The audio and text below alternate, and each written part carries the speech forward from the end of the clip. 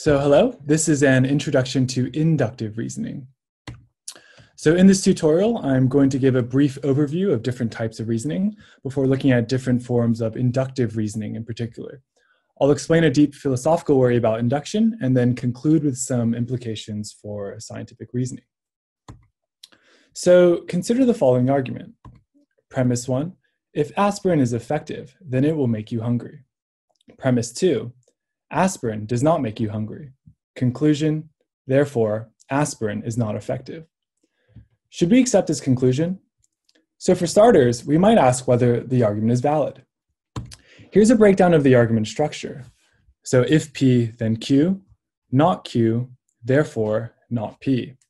So, as explained in the tutorial on deduction, arguments that follow this form are called falsification via modus tollens. So, the structure of this argument is valid, that is, if the premises are true, then the conclusion must be true. But in this case, we also need to ask whether this argument is sound. So are all the premises true as well? And so when we look at them, the first premise seems dubious because aspirin is supposed to relieve pain, not make you hungry. So even though the argument has a valid structure, the argument is not sound because one of the premises is false. As a result, we should not accept the conclusion. Now, here's a slightly different argument. Premise one the first six eggs in the carton were rotten. Premise two all the eggs in the carton have the same expiration date. Conclusion therefore, the seventh egg in the carton will also be rotten. Should we accept this conclusion? This piece of reasoning seems very sensible. After all, it seems very likely after examining the first six eggs that the seventh egg will be rotten too. But note that this argument differs in, important, in an important way from the first one. Even if both premises are true, it may still be the case that the seventh egg in the carton is not rotten. In other words, the premises here do not logically entail the conclusion. Hence, this is not a deductive inference. It is an inductive one. In an inductive inference, we move from premises about things we have examined to conclusions about things we have not yet examined.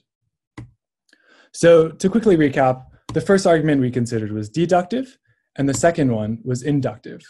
In, inductive, in deductive reasoning, the truth of the premises guarantees the truth of the conclusion. In inductive reasoning, the truth of the premises provides evidence for the truth of the conclusion, but it doesn't guarantee it's true.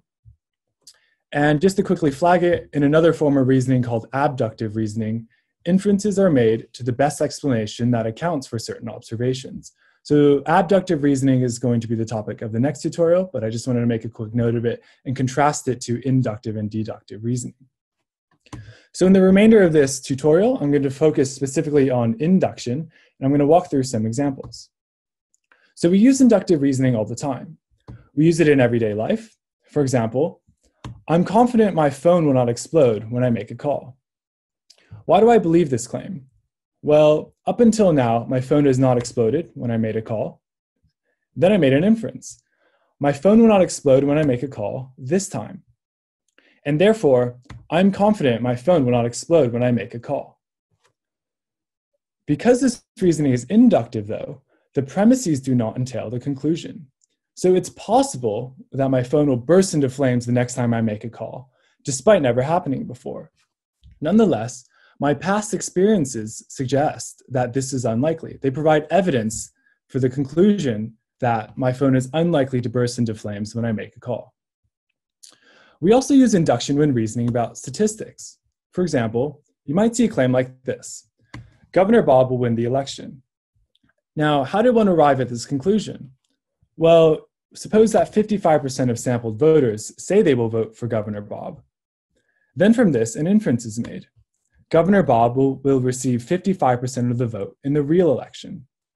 And so we conclude that Governor Bob will win the election.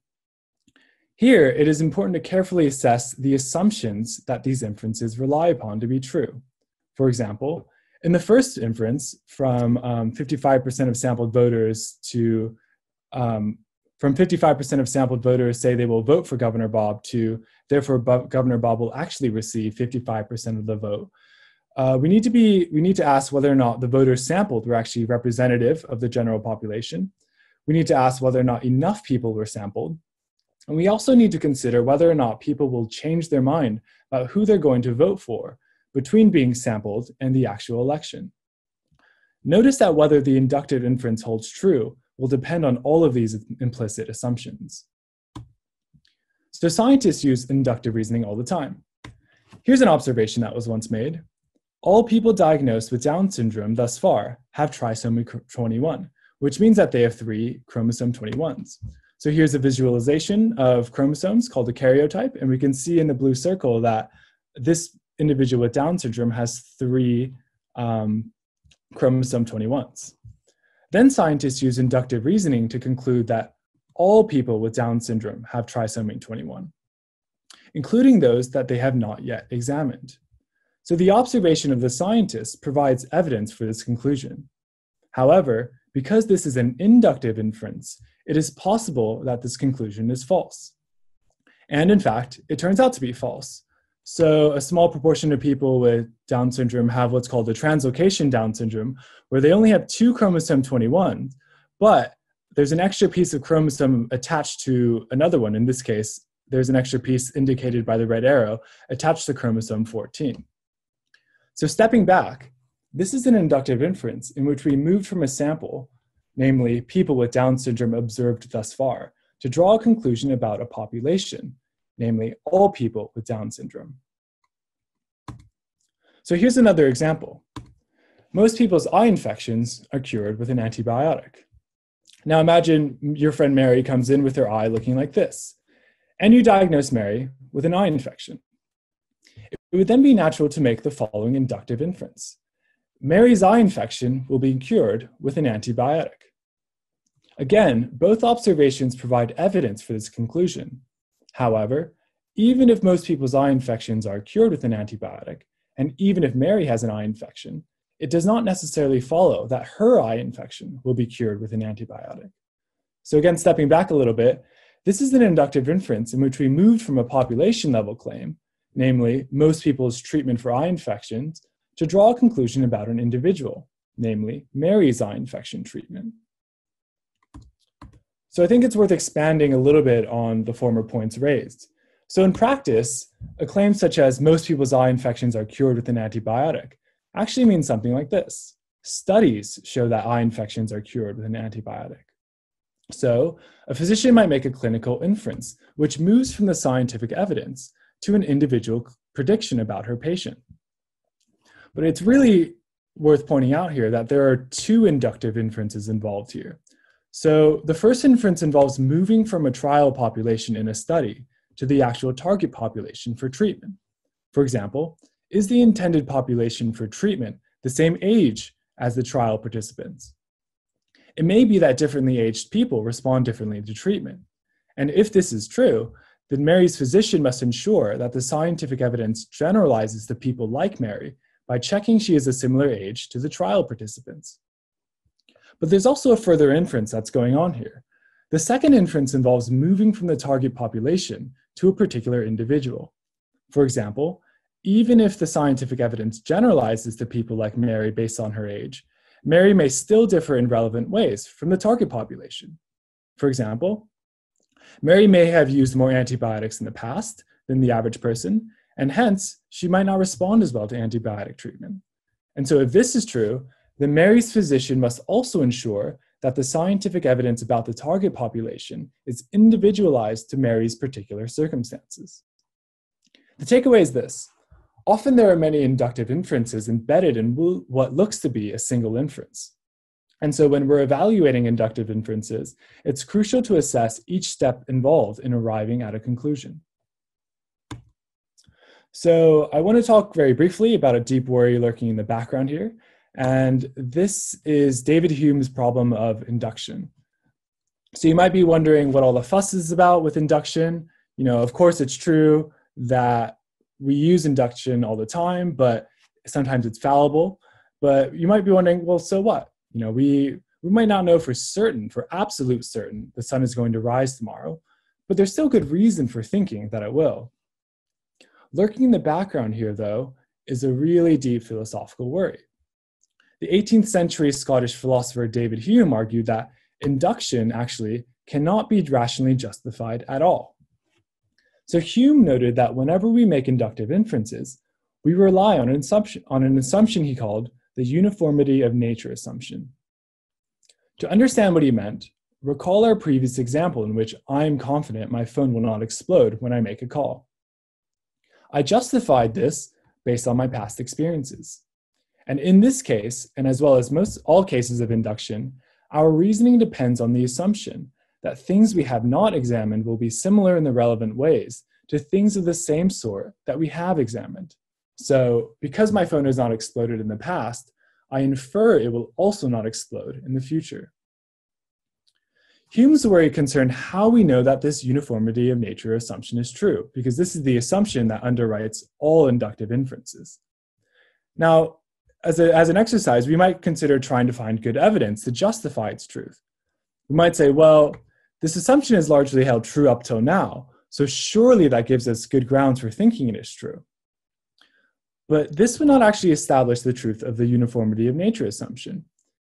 After all, we can't point out that nature has been uniform in the past to justify that uni- nature is going to be uniform in the future. This is because this is itself an inductive argument that depends on this the uniformity of nature assumption. So in other words, an argument that assumes the uniformity of nature assumption is true from the outset can't prove that the uniformity of nature assumption is true. This would just be reasoning in a circle. So, where does this leave us? Hume's problem of induction is a deep worry, and philosophers disagree about whether it has been adequately resolved.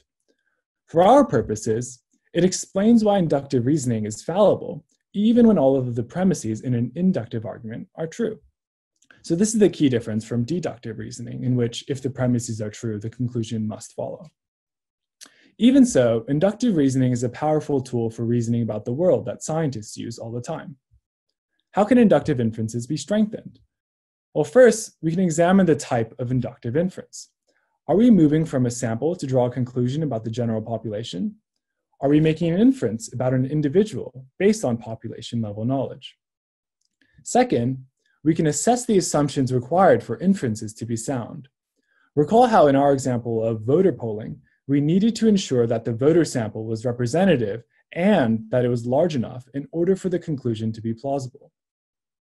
Third, we can assess each individual step embedded in an inference.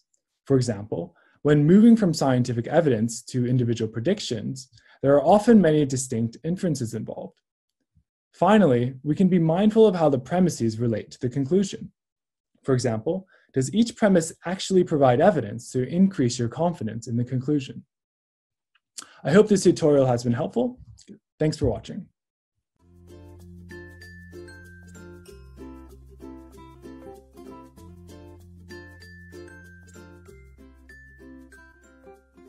Hey guys, it's Glen. Thanks so much for listening to this most recent episode of the Philosophy of Data Science. I hope you enjoyed it.